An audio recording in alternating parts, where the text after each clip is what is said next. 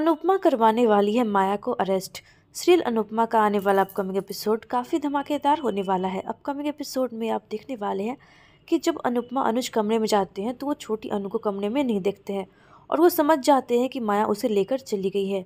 जिसके बाद यहाँ आने वाले एपिसोड में आप देखें कि आधी रात को अनुज और अनुपमा छोटी अनु को ढूँढने के लिए निकल जाएँगे। वही जब अनुज और अनुपमा एयरपोर्ट पे पहुँचेंगे तो वहाँ पे माया छोटी अनु को लेके बैठी होगी लंदन जाने के लिए।